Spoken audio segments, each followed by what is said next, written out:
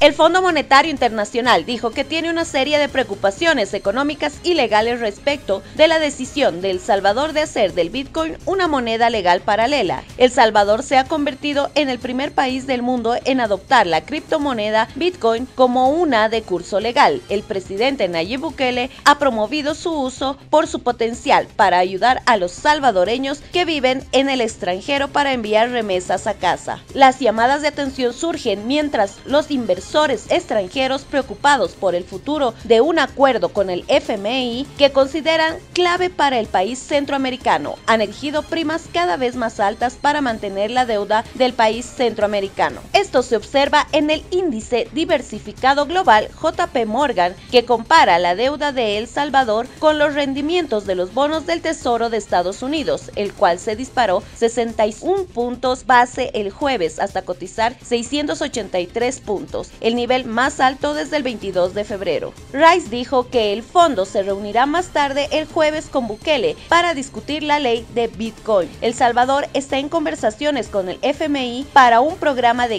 casi mil millones de dólares.